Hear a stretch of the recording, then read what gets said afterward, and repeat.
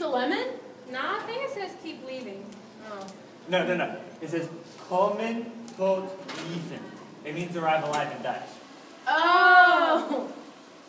I, I, I don't understand what this means. Neither do I. Let me put it up here. Dumating buhay. What does that mean? Uh, arrive alive! Awesome! Forrest, why are you standing in the hallway like this? I'm trying to figure out what this says. Oh, I don't know what it means either. Do you know what this says? Yeah, you got vivo. What does that mean? Arrive alive. Oh, okay, oh. that makes sense. Yeah.